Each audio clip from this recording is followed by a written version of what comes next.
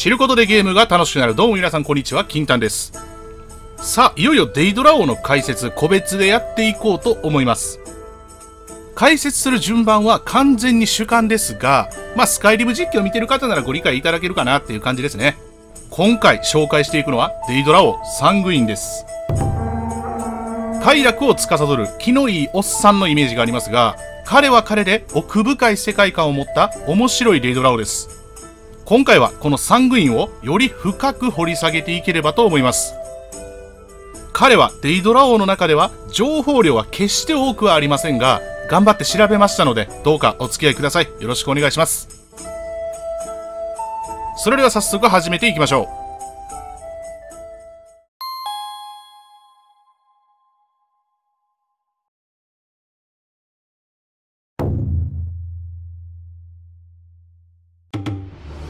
まずは彼が何を司っているデイドラ王なのか、どういった個性を持つのか改めて見ていきましょう。サングインはバカ騒ぎや快楽、道楽、色欲、主治肉林、宝刀などを司るデイドラ王です。スカイリムにおいては自身のことを宝刀を司るデイドラ王と言いますが、宝刀とは酒や女に溺れてしまうことを指します。宝刀を司るデイドラの王子サングインだ。ねえ分かってる。嘘をつけると思うか？さて酒でも飲まねえことには信頼は生まれねえな。また彼のことを表現する際情熱の明るい面と暗い面を併せ持つデイドラ王と表現されることもあります。快楽にはもちろん殺人や人食あらゆる禁忌が含まれるためただ楽しいだけのデイドラ王ではありません。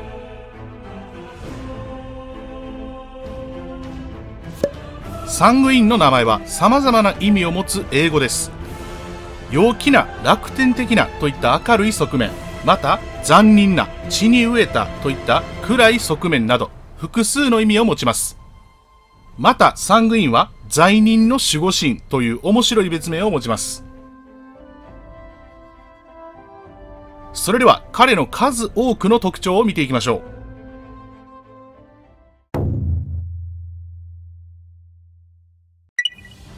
とにかく楽しければそれでいいという楽観的な性格をしています。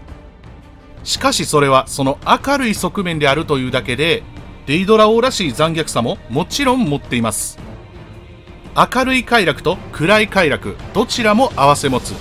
言い換えれば人間の欲深さを体現したような王です。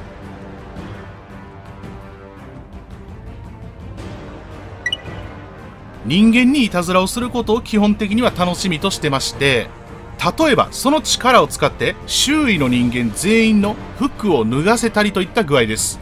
誘惑と屈辱を持って人間を罪深いライフスタイルに引きずり込もうとします。ジ・エルダースクロールズ3モロウィンドにおいてその名前が暗殺ギルドの合言葉にも使われています。しかしこれがデイドラ王のサングインと深く関係するかは謎に包まれています。基本的にここで使われるサングインという言葉は血の色という言葉として使われます。その要素から風俗関係の店名に使われることもあります。まあ言ったらエッチな店ですね。ジ・エルダースクロールズ5スカイリムではサム・グエベンという名前で人間に紛れ込んでいます。主人公との飲み比べでは2杯でギブアップしますが、まあ、もしかすると本人はお酒に弱いのかもしれません。まあこれも彼の演出っていう見方の方が強いですけどね。えーらしいな。こっちはもう限界のようだいいかもう一杯飲めばそっちの勝ちにしてやろう。おおハグレイブンの羽。そなたもろもろだな。出してみせてくれ。どれどれ。世界に出てさまざまな喜びに触れたい。そんな気持ちにさせる何かが必要だった。ジ・エルダースクロールズ5スカイリムでの見た目はドレモラに似ていますが実は角の本数が違います。サングインは4本ドレモラは2本です。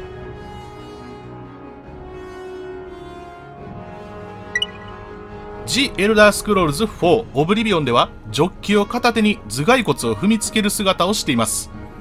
ここもだいぶイメージ違いますよね。そして The Elder Scrolls 2ダガーフォールではまるで違う見た目をしているんでやっぱりデイドラ王の容姿っていうのは時代によって変化するのかもしれませんね。彼のクエスト思い出の夜は映画ハングオーバーのパロディかもしれないと言われています。これただの噂っていうか多分考察ですね。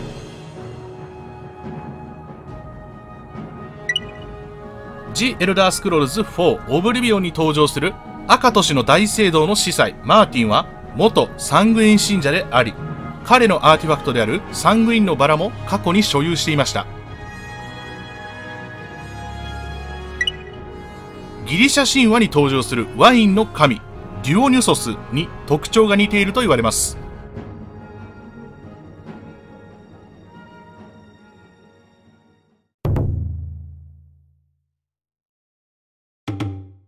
サングインのアーティファクトといえばサングインのバラです。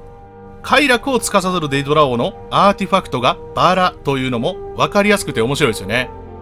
これはサングイン本人曰く神聖とは言えない杖とのことです。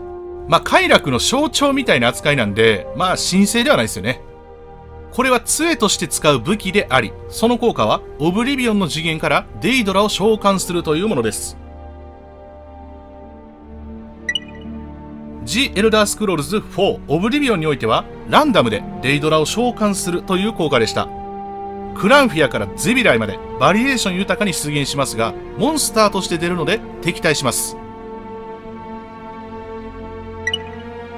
そして The Elder Scrolls 5スカイリムにおいてはデイドラの中でもドレモラを召喚するという効果に変わりました。このドレモラは味方として戦い使用者のレベルに合わせて階級も上がります。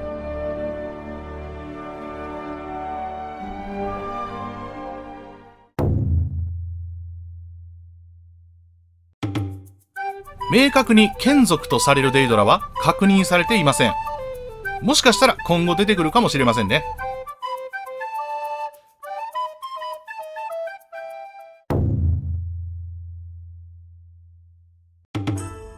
サングインは数万または数千のオブリビオンの領域を持つと言われその領域は無数の歓喜の領域とも呼ばれています。おそらくですがそれぞれの快楽に対応した領域ではないかと思われます。例えばスカイリムで登場するサングインの領域。霧の森は酒飲みの快楽の領域なのかもしれません。そしてサングインの性質としてどのような快楽の領域であれ訪問したものを満足させるということを考えています。またその領域を完全に制御することはなくある程度は成り行きに任せていると言われます。その辺も彼らしいですよね。